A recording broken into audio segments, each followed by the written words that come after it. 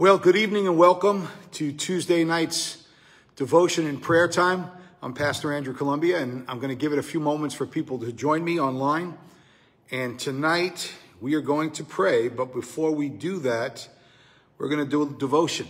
And my devotion is going to be from the book of Matthew, chapter 6, starting in verse 5 through verse 18. So I'm going to give it a few minutes for, for a few more people to join. So welcome as you're joining. I have one dear faithful sister here with me, so praise God. and we're to we're going to seek the Lord in prayer and we're going to seek the face of God tonight because we all need it. Wouldn't you agree with me? We need more of God in our lives every single day. We need more peace, more joy, more hope, more healing, more power, and most importantly, more love because God is love. So what I want to do to build our faith tonight, and we know this, faith comes by hearing and hearing the word of God. So as we do a devotion and as we read the scriptures, and what we're going to read tonight are the words of Jesus. This is in the book of Matthew chapter 6, and it is the portion of this book where the focus is on prayer and fasting. And it's Jesus teaching his disciples how to pray. And I was on a call today with pastors. I do a, a monthly conference call with the pastor fellowship that I'm affiliated with. And I'm on that call with pastors from all over the world. Most of them are in South Africa, some are in Cyprus, um, all different parts, different countries, Zimbabwe. It's a great fellowship of, of ministers who get together monthly for prayer, for fellowship. And what we were talking about today was leading the congregation in prayer and, and how do you encourage your congregation? How do you teach your congregation to pray? And what was interesting, some of the younger pastors that are only pastoring a couple of years were admitting that they struggle praying for a long time. I'm not going to mention their names. I'm not going to throw anyone under the bus in case they're watching this. But um, I just want to use it as an example. And they were being honest and transparent that how, you know, I don't know how to pray that long. And, you know, how do you encourage the congregation to pray? Well, there's, there's several different components to prayer. It's not just speaking and, and talking to God. It's, it's listening. It's meditating. It's, it's reading the word and praying the word and it's strategic. So what I want to emphasize today in this devotion before we get into some strategic prayer, and that's why I call it an hour of power prayer because we're coming together to intercede and pray for what is important first and foremost to God. And then after we cover those bases with adoration, then we go through confession and we have to make sure our hearts are clean. So Jesus gives us a blueprint here in Matthew chapter 6 and again, when I do Bible studies, Bible teachings, preachings, I usually use the New King James Version and the Amplified Version. But for this devotion tonight, it's a devotion. I'm going to use the New Living Translation, which is a paraphrased translation. So stay with me. I'm going to read through it. And as I'm reading, I'm going to stop and interject as I feel led. Because once again, this is a devotion. It's not a sermon or a Bible study. So let me open up with a word of prayer. Father, I just thank you for this time with my brothers and sisters tonight those that are here, those that are online with me right now. And I pray that the Holy Spirit would truly order our steps. Your word is clear that the steps of the righteous are ordered of the Lord. And we know that faith comes by hearing and hearing the word of God, and the just shall live by faith alone. So, Father, I pray for this devotion tonight. I pray for the scriptures that we're going to be reading here in Matthew chapter 6, that through the words of Jesus himself, Lord, I pray that you would open up our understanding. I pray for rich revelation. I pray that the Holy Spirit would give us wisdom and discernment and strategy so we can learn how to tarry in prayer. That means not just say the same things over and over again, but tarry in prayer. So Lord, I thank you for this time tonight. I thank you for those who are joining me. And I ask the Holy Spirit to order each word that is shared here from the scriptures. And I pray this in the mighty name of Jesus. Amen. All right, follow along with me. Matthew chapter 6, starting in verse 5. The context of this devotion is prayer, and it's Jesus teaching the disciples, the apostles, about prayer and fasting. So verse 5 says this When you pray, don't be like the hypocrites who love to pray publicly on street corners and in the synagogues where everyone can see them. I tell you the truth, that is all the reward they will ever get. Now, let me stop there and just emphasize that verse. He starts out by not saying what is the right way to pray. He's starting out by saying what is the wrong way to pray. And what he's saying here is don't do it for wrong motives. Don't do it for attention. Don't pray to show people how spiritual you think you are. Jesus always looks at the motives and intents of our hearts. He always wants to know the cause and the effect. Why are we doing what we're doing? And what effect is it going to have when we do it? So there's always a cause and effect. And in chapter 6, verse 5 of Matthew, he's saying, don't be like hypocrites. So those who pray in the street, street he's calling them hypocrites. Why? Because they want attention. They're doing it so other people can look at them and say, wow, look how spiritual they are. Look how holy they are. God wants us humble. How many of you know that? He doesn't want us to be super spiritual, acting in ways that are hypocritical and not real. He wants us to be transparent, humble. So, so what I want to emphasize here is that he's telling us don't be like hypocrites. Don't pray in front of people all the time. Now, there's times to go out in the streets and pray. When you're doing evangelism, when you're doing outreach, when you're praying for your community, when you're praying to tear down strongholds over, over territories there's times to do that, but he's addressing the, the wrong way to pray because the people he's addressing are the Pharisees. And he's calling them hypocrites and self-seeking and self-serving. And basically what he's saying, that's the only reward they're going to get, that the Father in heaven is not going to honor that type of prayer. Let's look at verse 6 now. But when you pray, go away by yourself, shut the door behind you, and pray to your Father in private. Then your Father who sees everything will reward you. Now, again, there's different types of prayer. There's personal prayer and there's corporate prayer. When we come tonight, like having a prayer meeting, it's corporate prayer. And even though most of you are online, you're praying with me, you're listening with me. So this is a time of corporate prayer. But Jesus is stressing what's important when it comes to intimacy with the Father. And he's saying, go by yourself, get alone with your Father behind the closed doors and pray to your Father in private. Now, Jesus did a lot of modeling of this when he was carrying out his ministry on the earth.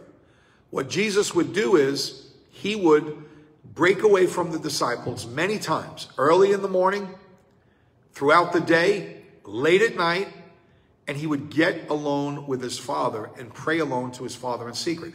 This is why the disciples asked Jesus how to pray. They wanted to know how to pray because they were saying, what is he doing all these time, all this time? How is he praying?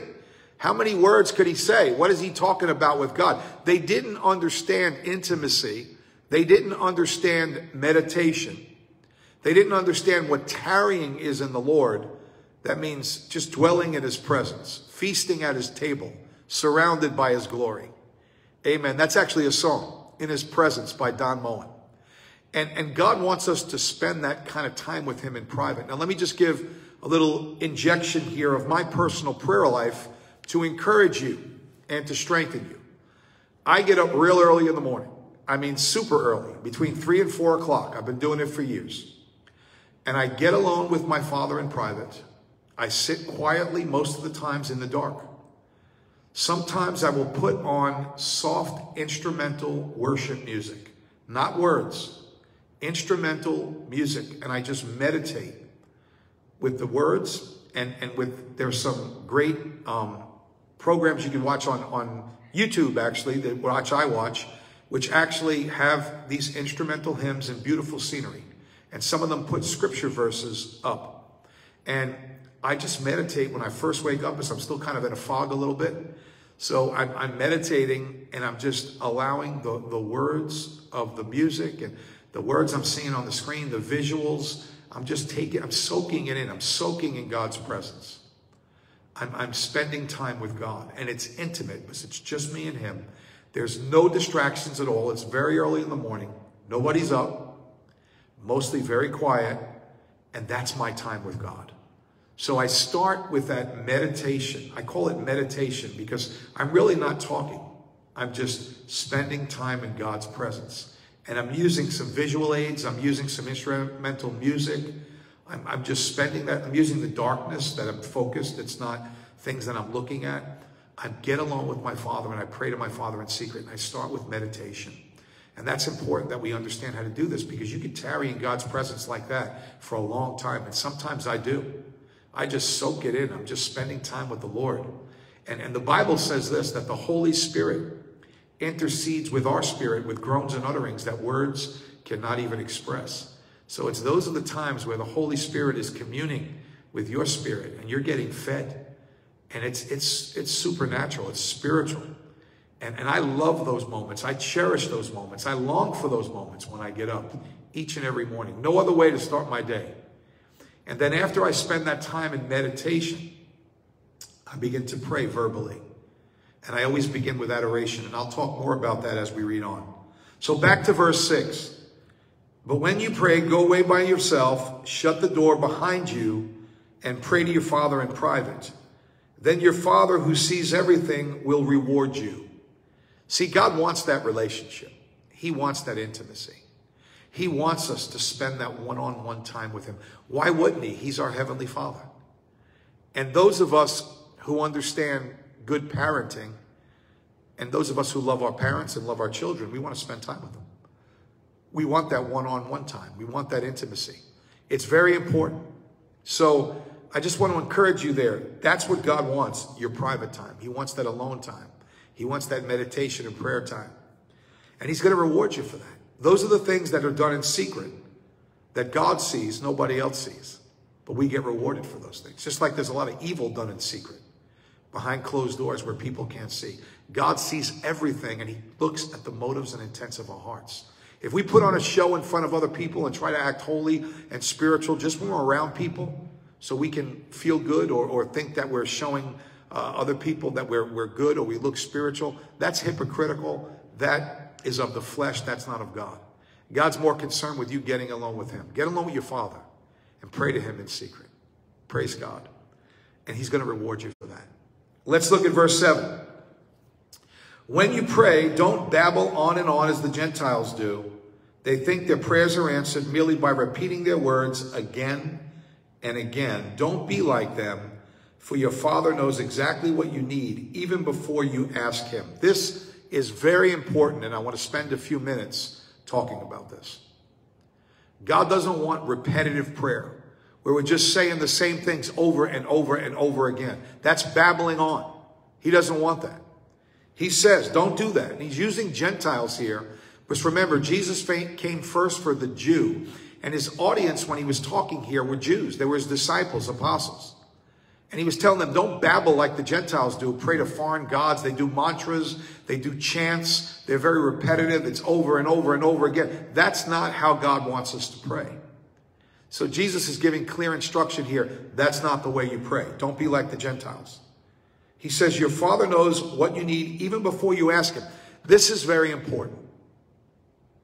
It's a mindset that we need to have so we're not desperate when we come before God.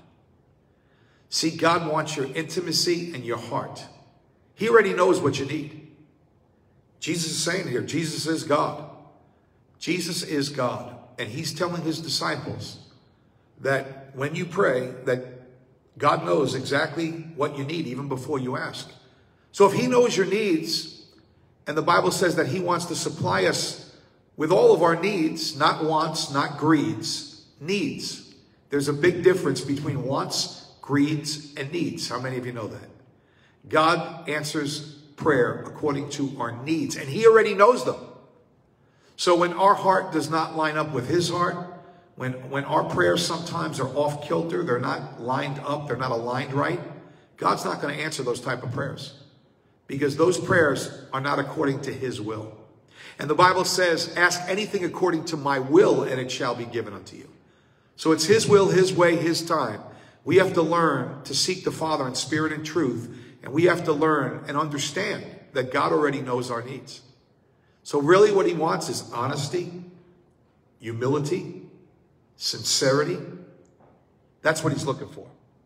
He wants our hearts to be aligned with his heart. That's what's most important. He already knows what we need. And he wants us to ask, just like a child. When you love your children and you spend time with them and you see they're troubled, or if they want to talk to you about something, you want to hear what they have to say. And if you know them well enough, a lot of times you know what's going on even before they tell you. Well, how much more does your Father in heaven give good gifts to those who ask in faith and believe? How much more does God know? He's God. He's infinite. He's all knowing. He's all seeing. He's omnipotent, omnipresent. So, then verse 9, Matthew 6 9. This is the Lord's Prayer. Now, let me preface this by saying this. The Lord's Prayer is scripture. It's the word of God. So we can pray the Lord's Prayer. And I pray the Lord's Prayer sometimes. But it's not to be prayed repetitively over and over and over again. Jesus just told us that. That's not how we pray. So, what does that mean? When we read the Lord's Prayer, which I'm going to do in a moment with you, it's a blueprint. Are you hearing me? It's a blueprint for how we are to pray and how we are to approach God. There's several components in the Lord's Prayer, which I'm going to teach on tonight. And then I'm going to begin to pray them because we're going to pray. And that's the strategy. That's the, the model that Jesus gave his disciples so they can tarry in prayer, so they can go to the Father numerous times throughout the day, and they can petition him the correct way. So let's look at the Lord's Prayer. We're going to break it down, and I'm going to begin to pray as I break it down. Verse 9, once again, pray like this Our Father in heaven, may your name be kept holy. Now I'm going to stop there for a minute and expound on that. God is holy. God cannot dwell where sin is. We worship God in spirit and truth because of his holiness, because of his attributes, and because of his character. So when we begin to pray this way, Our Father who art in heaven, Our Father in heaven, may your name be kept holy. What Jesus is teaching the disciples is to worship God for who he is, for his character, for his attributes, for his goodness, for his provision, for his protection, for his strength. Before you ask him for anything, this is a mindset. This is teaching us how to think on what is good, pleasing, and perfect. This is teaching us how to approach the Father and build our faith so that as we begin with adoration and worship, when we go through the Lord's Prayer, our faith is becoming stronger in God, in who He is, what He's accomplished, what He's done, and in His holiness. So that immediately before you ask God for anything, your faith is growing and increasing because the focus is on the Father. Your problems become smaller when your faith gets stronger. Amen? So, our Father who art in heaven, hallowed be thy name. We thank you, Father, that you are Jehovah Jireh, our provider. And you provide for all of our needs according to your riches and glory. We thank you, Father, that you are Jehovah Shalom. Jehovah is peace. And you give us a peace that surpasses all understanding. We worship you for that, Father. We thank you, Lord, that you are Jehovah Mekedesh, Jehovah, our sanctification. And that as we become Christians, you're conforming us transforming us into the image of your Son, Jesus Christ. It's a process, but we thank you for sanctification. We thank you, Father, that you are Jehovah Tsidkenu, Jehovah our righteousness. This is a big one, brothers and sisters. We are in right relationship with the Lord because of Jesus Christ. Righteousness means right standing. We're no longer positioned as sinners separated from God, we are now righteous through the blood of Christ because we're saved by grace and faith. And our position before the Father is not guilty because of the righteousness of Christ. So we're saints, not sinners. I stress this all the time in my teaching and preaching because a lot of people have victim mentality. And they look at themselves as sinners and they call themselves sinners all the time. You're saved by grace and faith. You're a saint. You have been positioned in right standing in and through Jesus Christ, our Lord and Savior. You can approach the Father with boldness and courage and humility because of your position in Christ. So we thank you, Lord, that you are Jehovah Tsidkenu, Jehovah our righteousness. Please get that deep in your spirit. When you pray, you're in right standing, but you're a saint, you're not a sinner. Do we sin and mess up at times as Christians? Yes, because we still have a sinful nature, the flesh nature. But when we sin, we repent. And repentance is changing the way you think. It's turning from our sin, and the Holy Spirit gives you the power from on high not to go back to it. And through that sanctification transformation process, God is making us more like Jesus. Old things are passing away and all things are becoming new in Christ. So Father, we thank you. You are Jehovah Tsidkenu, Jehovah our righteousness. Praise God. We are honoring the Lord's Prayer, the first part of it where it says, Our Father who art in heaven, hallowed be thy name. We thank you, Father, that you are Jehovah Rapha, Jehovah our healer. Now I talk about healing a lot because it's in the covenant of the New Testament. Through the blood of Christ, we have healing in our covenant. But God heals in his will, his way, his time. We're to pray for healing. We're to pray without ceasing. The Bible tells us if any of you is sick, we just did this Sunday in our church, have the elders of the church anoint the sick with oil and pray a prayer of faith and the sick person shall be made well. The biblical model, the biblical mandate is so important. We got to honor the word. Amen. And we're to confess our sins to one another and pray for one another that we may be healed. The prayers of the righteous are powerful and effective. James 5, 16. So we are to pray constantly for healing. But don't be mistaken. God heals in His will, His way, His time. He's not a genie. We don't rub Him and He does exactly what we want. There's purpose for everything in the kingdom of God. God does things according to His will, not our will. You have to understand that. Amen? But He is Jehovah Rapha. Jehovah our healer. We're talking about the attributes and the character of God. We're adoring him and worshiping him before we ask him anything. And this is the blueprint of how Jesus taught the disciples how to pray. Not to pray the Lord's Prayer repetitively over and over and over again, like some of us were taught growing up. It's a blueprint for how would you approach God. Father, we thank you that you also are Jehovah Rohi, the good shepherd. And we, your sheep, we hear your voice and we follow you. Now, the Bible tells us in John chapter 10 that God is the good shepherd and we are the sheep and we hear his voice. How do we hear God's voice? Primarily through his word, through the word of God, the canon, the 66 books of scripture. God speaks to us every single time we open the Bible. We crack it open and we read it. Why? All scripture is inspired. It's God breath for the correction, edification, reproof of the believers. God gave us his word, and his word has great power and authority. So God speaks through his word, and we have to be stewards of the word, disciples of the word, so we don't lack wisdom. So when we pray, we know what God is telling us in and through his word. He also speaks through the Holy Spirit, who indwells us, who leads us and guides us into all truth. Thank God we're born again. Thank God we're blood bought. Thank God that Jesus paid the price for our sin on the cross. Thank God we're saved by grace and faith, not by works, that no one should boast. It's a gift of God. Thank the Lord for that. And thank God that the Holy Spirit is the counselor, the comforter, and the guide. And he's leading us and guiding us into all truth. Can I get an amen? So, Father, we thank you that you are Jehovah Rohi, the good shepherd. And we, your sheep, we hear your voice and we follow you in and through your word and in the indwelling presence of the Holy Spirit. We thank you for intimacy. We thank you for fellowship. We thank you for truth and life, which comes through your word and by your Holy Spirit. Father, we give you all the glory, all the honor, and all the praise. You alone deserve it. In Jesus' mighty name. Amen. Now let me stop here for a moment and say this. Jesus gave us the Lord's Prayer. That was just verse 9. So in verse 9, we're learning adoration. We're learning how to worship the Father for who he is, all he's done, and all he's given us without asking him for one thing. That's strategic prayer, my brothers and sisters. Let's continue. Verse 10 says this, May your kingdom come soon. May your will be done on earth as it is in heaven.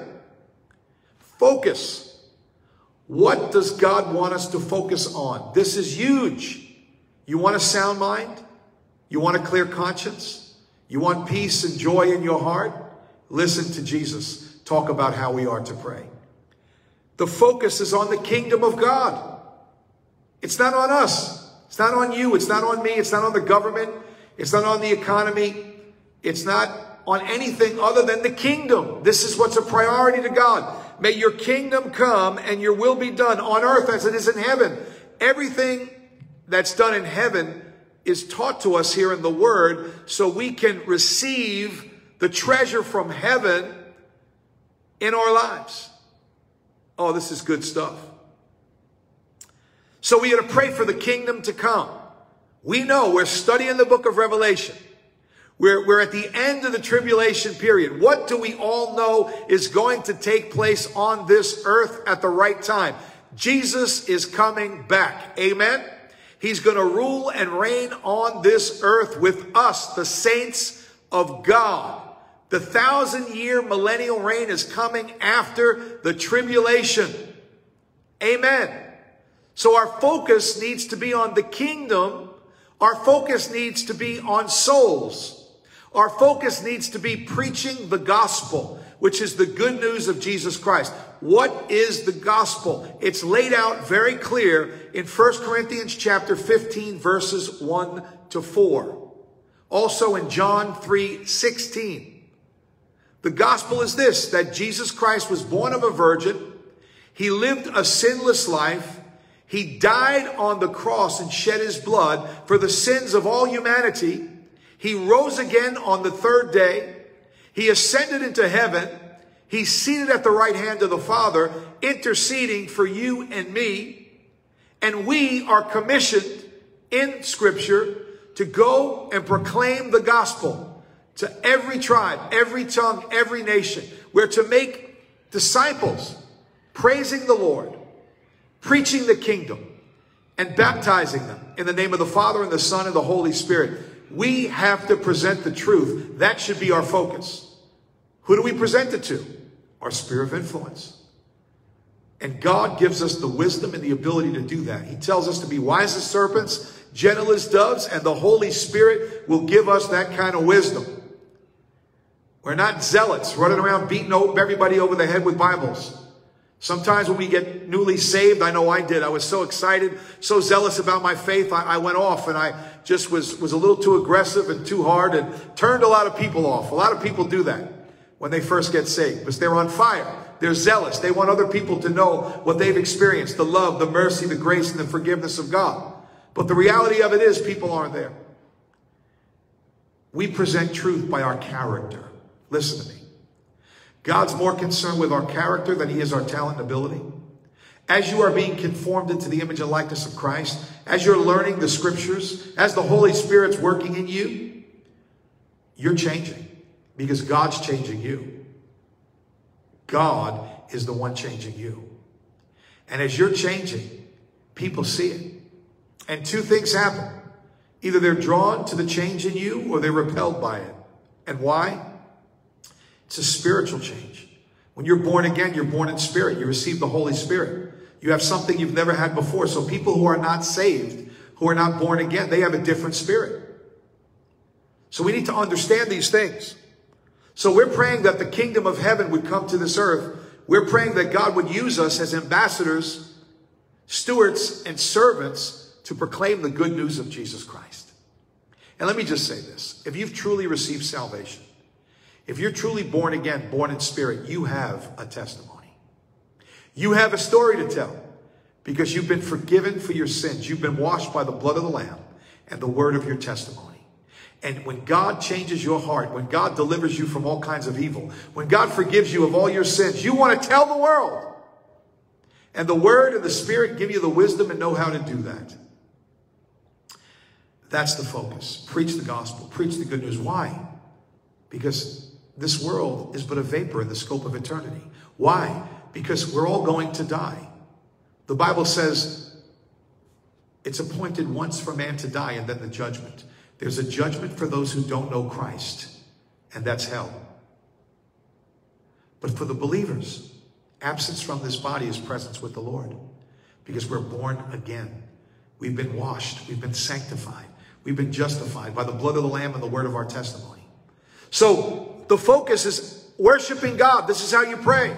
For who he is, for his character, his attributes, his might, his salvation, his healing, his deliverance. Father, we thank you for these things. And Father, may your kingdom come. May your will be done on this earth as it is in heaven. That's the focus. Bringing the kingdom. Proclaiming the good news. Jesus Christ is the Son of God. He died for our sins. He resurrected. He ascended. He's coming back to dwell on this earth, to rule and reign for all eternity. And if you accept Christ, you're forgiven, you're healed, you're sanctified, you're washed, and you're set free. Praise God. What better message is there in this world? There is none. It's the greatest message, the gospel, the good news of Jesus Christ. Oh, I hope that you made that decision. I hope that you've truly repented and called upon the Lord so you can be saved and set free and filled with the Holy Spirit. Amen. If you haven't done it, do it now. Choose to do it. Repent and turn to Jesus, and he'll set you free. Praise God. So we're calling heaven to earth. We're presenting the kingdom.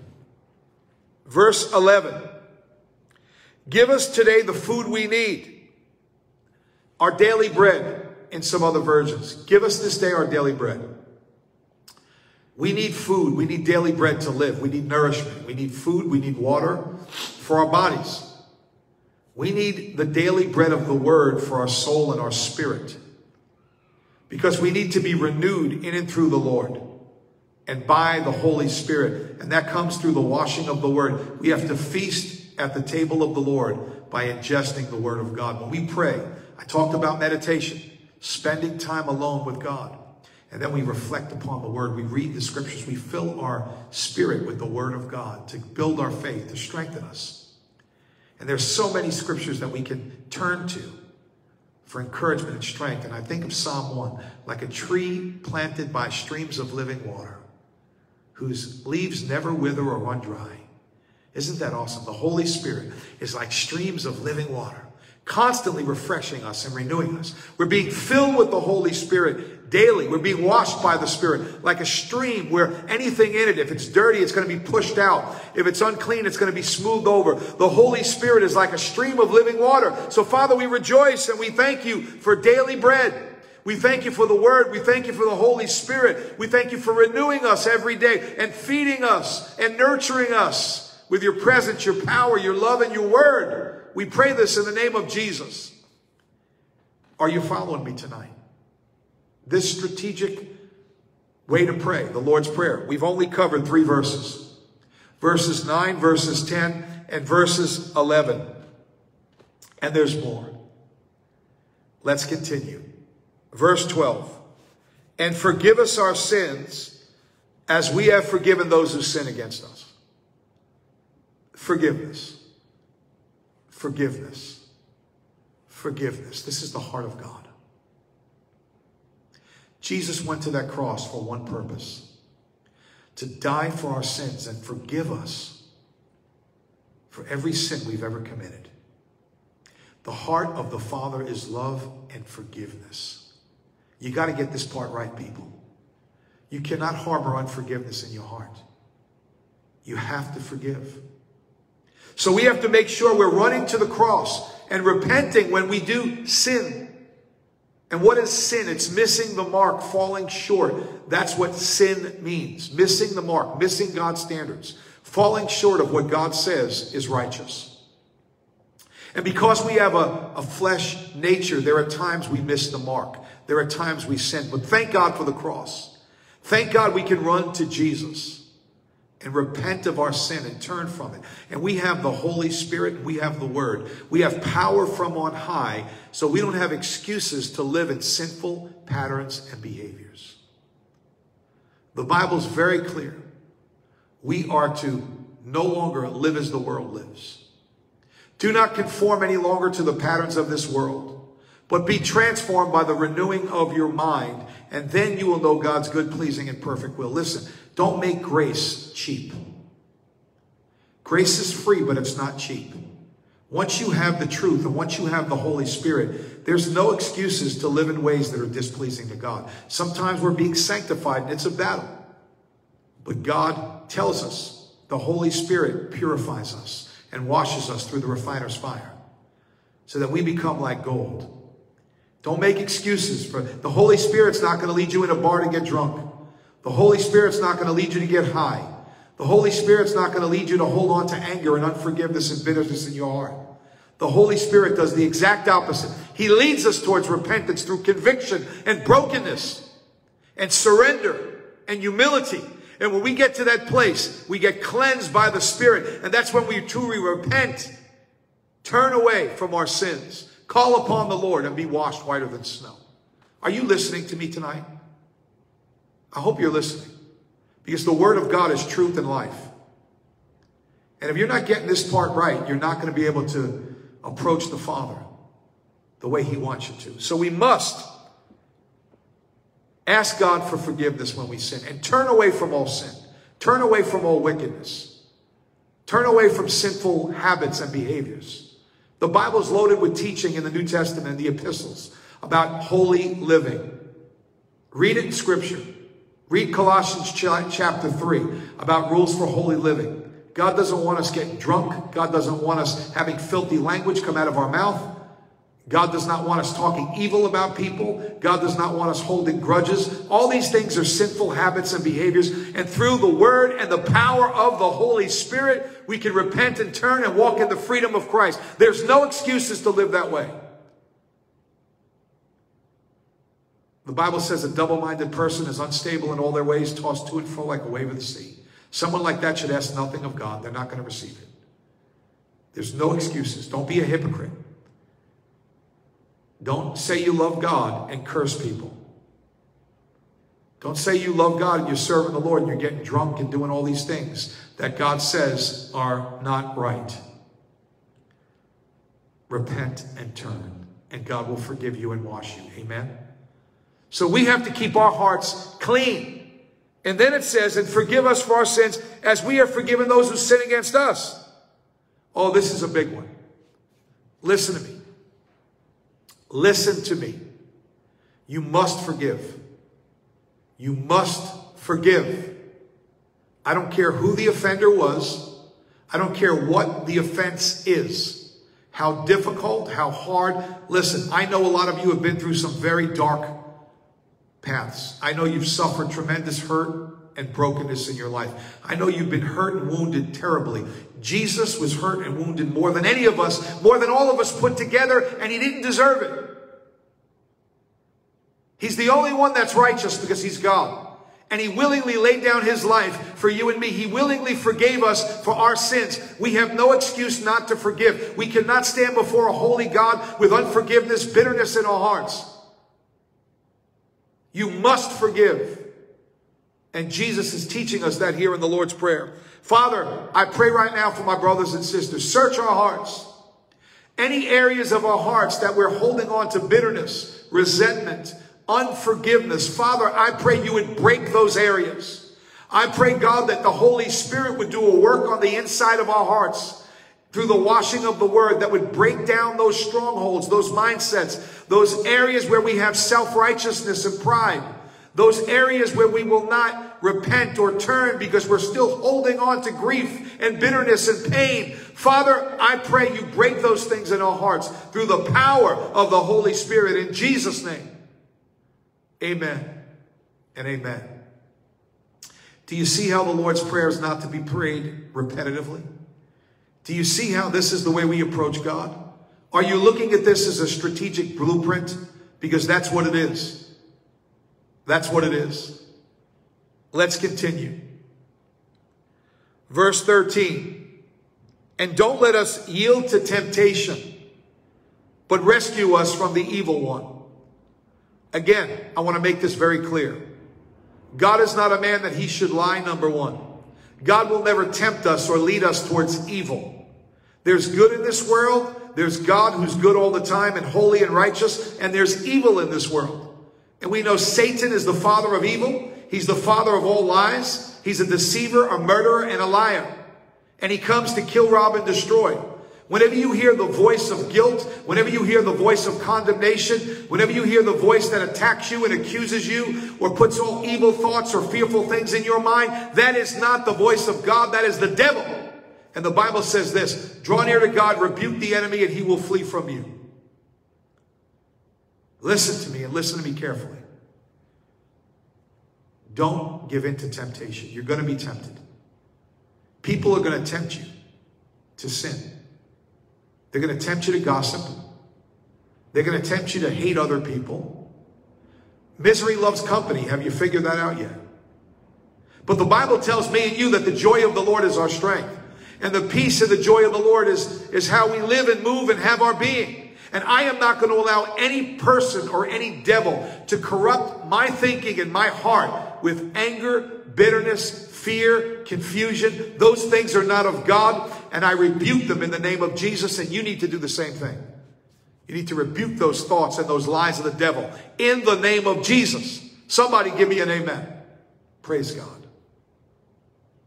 The Holy Spirit will never lead us towards temptation.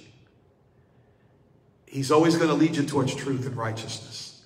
He's always going to lead you towards streams of living water to be refreshed and encouraged and strengthened because he's God. The Holy Spirit is God and he lives in you and me if we're born again. Praise the Lord. But rescue us from the evil one. Now let me tell you this. Listen carefully to what I'm going to tell you. The only one who can deliver us from evil is God.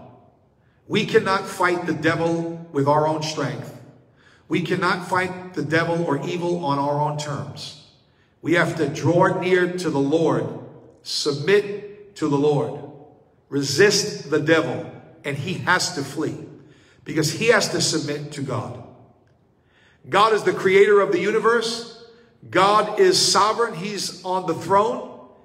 And every created being, including the devil and all the demons, have to submit to the lordship of Jesus Christ.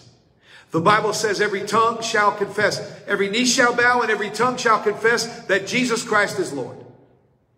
Amen. This is good stuff. I hope you're getting this. I hope you're listening. I hope that your heart is being cauterized and sanctified by the word of truth and the word of life. This is how we pray the Lord's Prayer.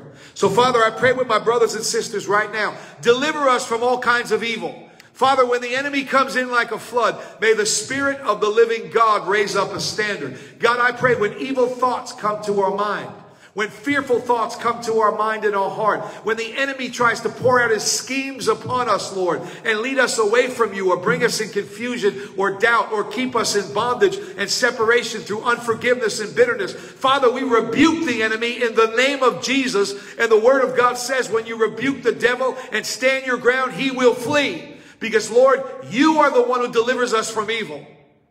And Lord, we give you all the glory, all the honor, and all the praise. It's you alone that are worthy. You alone defeat the enemy every time. Jesus conquered sin and death on the cross, and he's given us life and abundant life. We are victors in Christ, never victims, always victors. You're no longer a sinner positionally. You're a saint in the kingdom of God if you're blood bought and born again. All things are passing away and all things are becoming new in your life, in your mind, and in your heart. Positionally, you're right with the Father. You've been given the Holy Spirit to indwell you and empower you and lead you and guide you into all truth. Praise the name of the Lord. Praise God.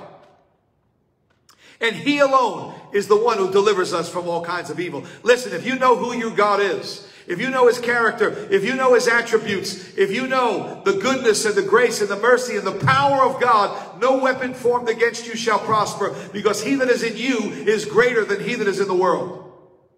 Romans 8, 28. Praise God. All things work together for good for those who love the Lord and are called according to his purposes.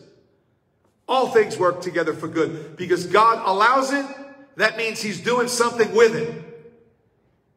Because all authority, all powers, all principalities in the demonic realm submit to the lordship of Jesus Christ. And we are covered by his blood. And we are washed by the blood of the Lamb and the word of our testimony. Praise God. Thank you, Jesus, for the victory. Thank you, Lord. We give you all the glory, all the honor, and all the praise because you alone are worthy of it, Father. And we thank you. We worship you. We praise you and we bless you in the mighty name of Jesus Christ. Verse 14. If you forgive those who sin against you, your heavenly Father will forgive you. But if you refuse to forgive others, your Father will not forgive your sins. I'm going to repeat that again. Listen. Whoever's listening to me and watching this right now, you need to hear these words from Jesus Christ himself. If you forgive those who sin against you, your heavenly Father will forgive you. But if you refuse to forgive others, your Father will not forgive your sins. If you refuse, some of you are refusing to forgive people in your life. Forgiveness is a choice. It's not a feeling and it's not an emotion.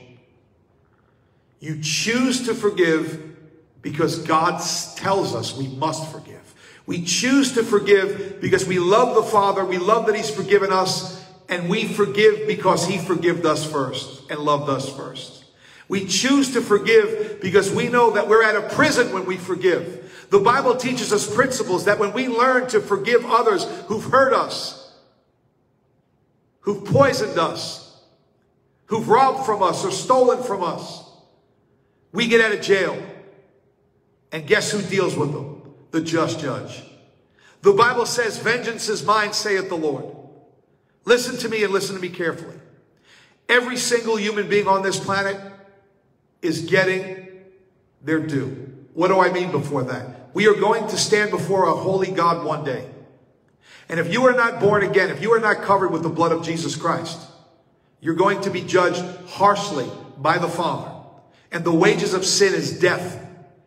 But the gift of God is eternal life in Christ Jesus. When the Lord Jesus is telling us this, if you forgive those who sin against you, your heavenly Father will forgive you. But if you refuse to forgive others, your Father will not forgive your sins. If he does not forgive you for your sins, you're separated from God. And what is the judgment? Death and hell. That's the judgment. Death and hell. For the wages of sin is death, but the gift of God is eternal life in Christ Jesus. Romans 6:23. Are you hearing the words of Jesus today? This is very serious business. This is what we need to focus on and pray about, my brothers and sisters that our hearts are clean before a holy God, that our motives and intents are pure. We can't hide anything from the Lord. He knows it all. He sees it all. The Bible says in Psalm 139, He knew you even before you were formed in your mother's womb. We were fearfully and wonderfully made by the Lord. Do you know that? God knows everything about you. He knows the number of hairs on your head or lack of, in my case. He knows everything about you. He created you. And you are going to have to stand before him one day and give account. And what he wants to know more than anything else, have you been forgiven by his son, Jesus Christ? Have you accepted the gift of forgiveness through repentance and belief in his son? And then have you forgiven others who've offended you and sinned against you? There is no excuse for unforgiveness in the kingdom of God. Are you hearing me today? This is why Jesus said, Many will come in my name and I will say, Go from me, I never knew you. But Lord, I did this in your name and I did that in your name and I tithed and I, I fed the sick. I did miracles in your name. I cast out demons in your name. Go from me, I never knew you. Why does Jesus say that? Because they've never truly repented and forgiven those who've sinned against them because they never truly received the forgiveness and the mercy and the grace of God. So much is given, much is required. I hope you're listening today. These words that I'm speaking are life and death. They're not my words, they're the words of Jesus Christ, the Son of God. I'm reading right from the text. I'm reading right from the scriptures, Matthew chapter 6. These are the red letters in the Bible. If you need to repent right now, do it. If the Holy Spirit's convicting you right now because of what I'm teaching and preaching, repent right now. Repent of your sin. Repent of your unforgiveness. Repent of your bitterness. Repent of holding on to justifying sin in your life because you're not willing to forgive. Repent of it and turn from it right now and receive the mercy and grace of Jesus. Receive the healing touch of the Father.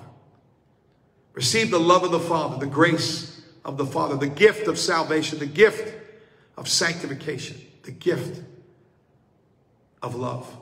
That's what the Father gives. Are you hearing me today? Verse 16. And when you fast, don't make it obvious as the hypocrites do. For they look, try to look miserable and disheveled so people admire them for their fasting.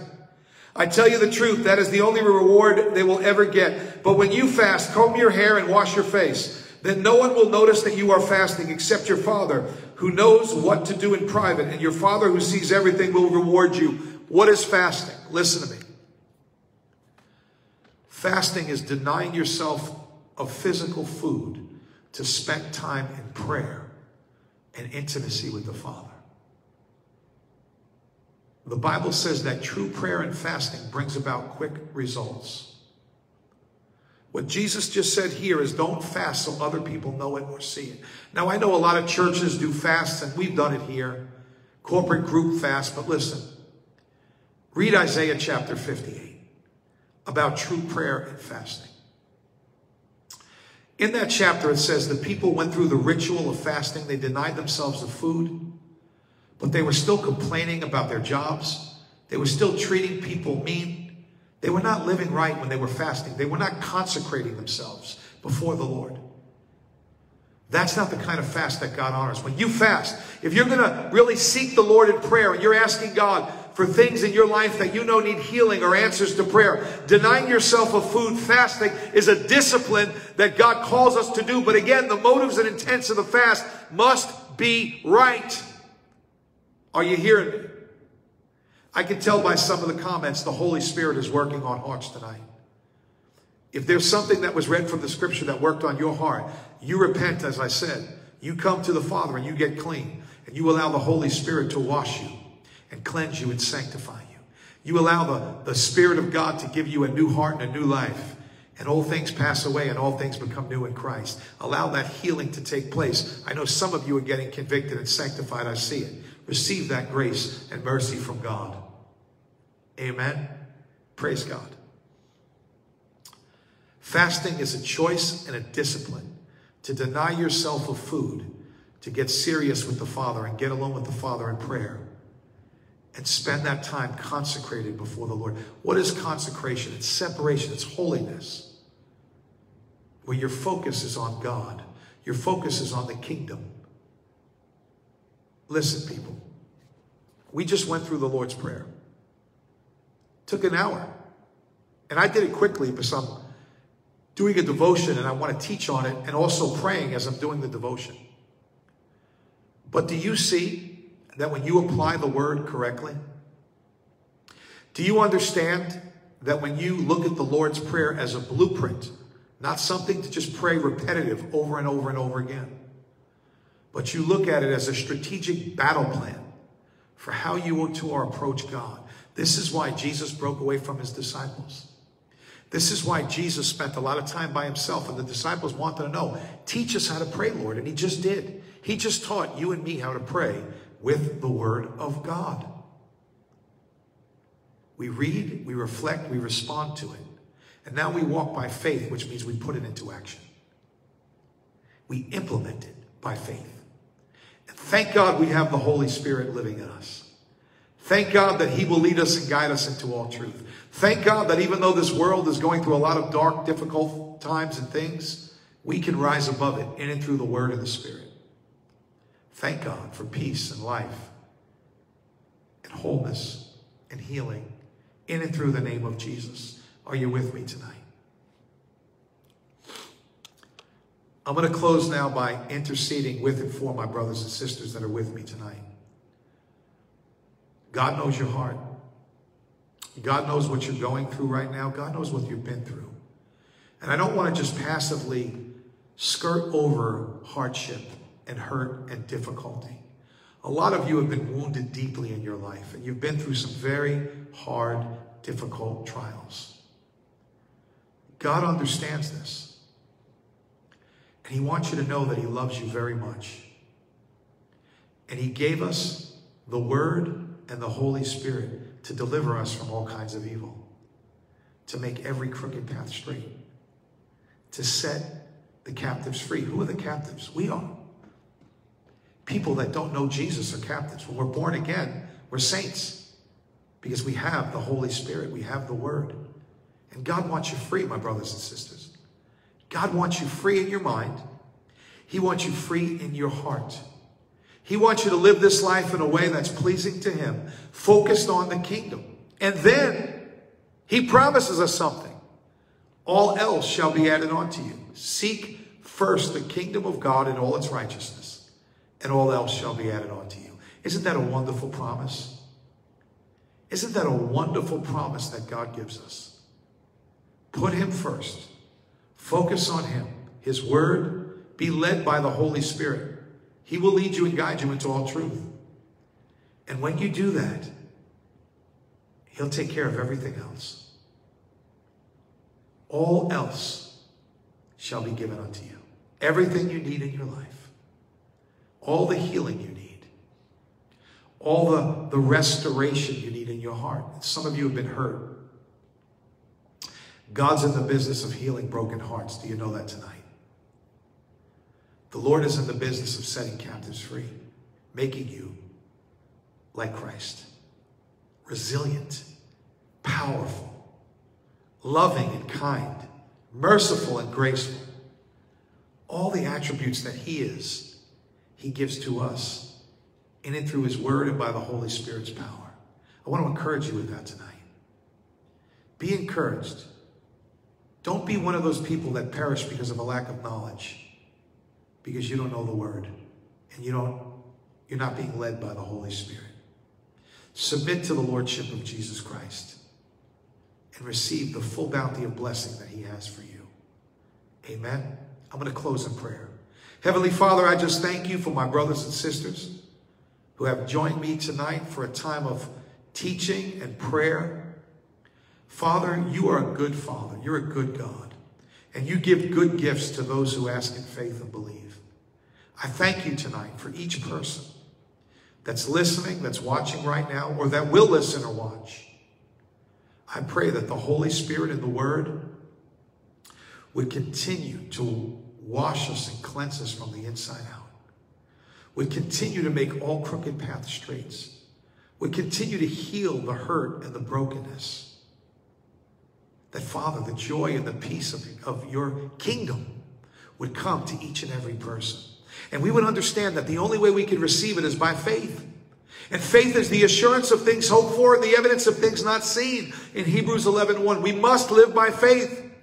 And your word says if we have the faith of a mustard seed, we can move the mountain in life. You know why? Because all we have to do is have that faith in our hand and God moves the mountains. Oh God, I thank you. I thank you for your kingdom. I thank you for your word. I thank you for your mercy. I thank you for your grace. I thank you for your love. I thank you, Father. Holy Spirit, continue that process of sanctification and transformation. Continue to heal my brothers and sisters' hearts. Continue to give them wisdom and discernment when they pray. That they would search the scriptures and study to show themselves approved. That they would wait upon you. For we know that those who wait upon the Lord, for he shall renew their strength. For they shall rise up as wings of eagles. They shall run and not grow weary. They shall walk and not be faint. Isaiah 40, 31. Father, we wait on your timing, your presence, and your purpose. Continue that healing touch, Father. Continue to lead us and guide us forward. Deliver us from all kinds of evil. Guard our minds and our hearts in Christ Jesus. I ask this in faith in the name of the Father and of the Son and of the Holy Spirit. Amen, amen, and amen. God bless you, my brothers and sisters. I want to leave you with this. You need to understand how much the Father loves you. You need to understand how much He's given you. He's given you His best. He's given you His Son. He's given you His kingdom. He's given you healing. He's given you heaven. He's given you eternity. It's for those who call upon the name of the Lord. Remember that tonight. God bless you, and I'll be with you again soon. Tomorrow, Bible study, 10 a.m. and 7 p.m. We're studying the book of Deuteronomy. Join us. Facebook Live, 7 p.m. tomorrow night. Learn the Word of God, and you will be strong. You will be with a sound mind and a sound heart, and the joy of the Lord will be your strength and your peace. God bless you.